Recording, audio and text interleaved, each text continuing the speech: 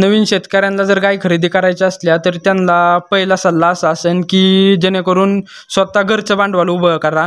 लोकांकडून म्हणजे कर्जाचं किंवा व्याजाचं असं अमाऊंट गोळा करू नका. आणि दुसरी गोष्ट चांगल्या ब्रीडच्या गाई खरेदी करा आणि दुधाची कॅपॅसिटी जास्त जेणेकरून वीस प्लस गाई चालेल अशा गाई खरेदी करा संगोपन व्यवस्थित करा त्यांचं. आणि दुसरी गोष्ट आपल्या शेतकऱ्यांचं असे जरी तुम्ही ही गाय खरेदी केली तरी प्रॉपर आपल्या इथं आल्यानंतर विली जरी परतच्या वेताला सुद्धा त्याला चांगलं प्रॉपर ब्रीड भरा. पण पंच्याऐंशी हजार रुपयाला खरेदी केलेली तर आता ही वेळेली एक तीन दिवस झाले तिला सतरा ते अठरा लिटर तिसऱ्या दिवशी दूध भरते.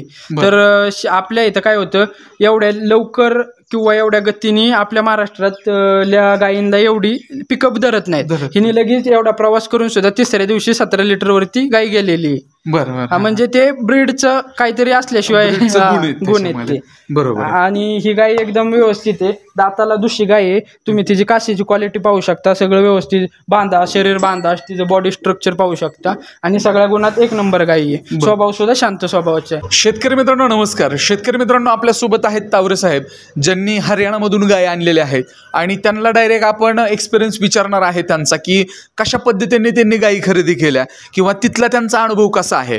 तर शेतकरी मित्रांनो व्हिडिओ सुरू करण्यापूर्वी तुम्ही जर आपल्या यूट्यूब चॅनलवर जर नवीन असाल तर निश्चित आपल्या यूट्यूब चॅनलला सबस्क्राईब करा आणि व्हिडिओला मात्र जरूर लाईक करा.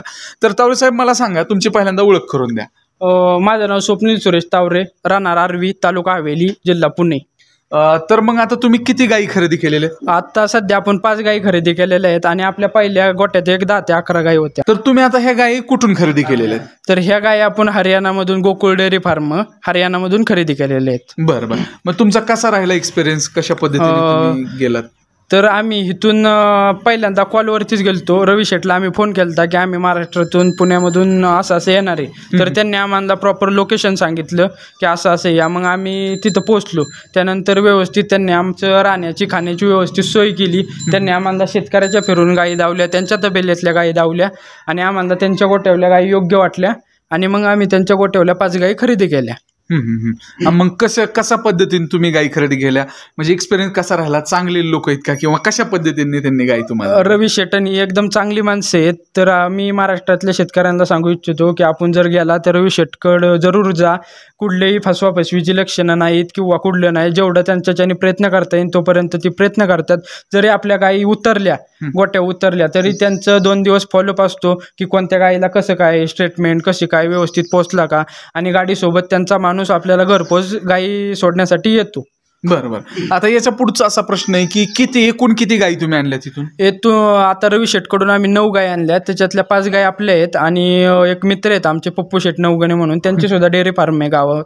तर त्यांनी चार गायी खरेदी केल्या. बर. मग ह्या ज्या गायांची म्हणजे बाहेरून आणलेल्या गायांची कशा पद्धतीने काळजी घेतली पाहिजे? बाहेरून आणलेल्या गायीची अशी काळजी म्हणजे व्यवस्थित आपण त्यांना आणल्यानंतर दोन दिवस त्यांचं टेम्परेचर व्यवस्थित चेक केलं पाहिजे. जसं तिचं टेम्परेचर असेल त्यानुसार तिला स्टेटमेंट केली पाहिजे.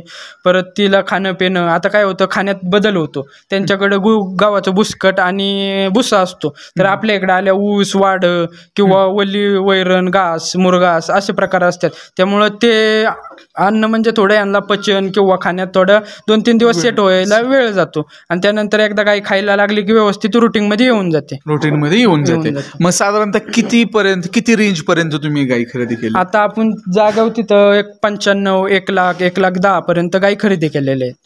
हा तर आणि शेतकऱ्यांना एक सांगण्याची जरी आपण तिथं लाख रुपयाला गाई घेतली तरी आपल्याला महाराष्ट्रात येईपर्यंत एका गाई मागे पंधरा ते सोळा हजार रुपये खर्च होतो. ट्रान्सपोर्टचा त्यात मेडिकल येतं परत जो आपल्या संघ सोबत ती बाह्य देतात त्याचं काही असतं चार्जेस म्हणजे असा सगळा खर्च जर काढला तर एका गायीवरती एक साधारण सर्वसाधारण पंधरा हजार रुपये जातात खर्च होतो. बरोबर आहे. आणि मग किती हायेस्ट किती लिटर पर्यंत देणारे गाय आणले हाईस्ट आता आपण तीस लिटर पर्यंत आणलेली बरोबर. मग आता समजा जर नवीन शेतकऱ्याला जर गाय जर खरेदी करायची असेल तर तुम्ही काय सल्ला द्याल त्यांना? नवीन शेतकऱ्यांना जर गाय खरेदी करायच्या असल्या तर त्यांना पहिला सल्ला असा असेल की जेणेकरून स्वतः घरचं भांडवल उभं करा. लोकांकडून म्हणजे कर्जाचं किंवा व्याजाचं असं अमाऊंट गोळा करू नका. आणि दुसरी गोष्ट चांगल्या ब्रीडच्या गाई खरेदी करा आणि दुधाची कॅपॅसिटी जास्त जेणेकरून वीस प्लस गाई चालेल अशा गाई खरेदी करा संगोपन व्यवस्थित करा त्यांचं. आणि दुसरी गोष्ट आपल्या शेतकऱ्यांचं असे जरी तुम्ही ही गाय खरेदी केली तरी प्रॉपर आपल्या इथं आल्यानंतर विली जरी परतच्या वेताला सुद्धा त्याला चांगलं प्रॉपर ब्रीड भरा. तर आपल्या शेतकऱ्यांची काय होते महाराष्ट्रातल्या चूक जरी एच गाय असली तर तिला जर्शी लावत्याल जर्शी असली तर तिला एच लावत्याल. त्यामुळं काय होतं ब्रीड क्रॉस होतं. त्यामुळं आपला महाराष्ट्रातला शेतकरी थोडा म्हणजे दुग्ध व्यवसायात खाली खालच्या स्तराला आहे. आणि पंजाब बघा तुम्ही हरियाणा बघा ती आपल्यापेक्षा उच्च काय आहेत.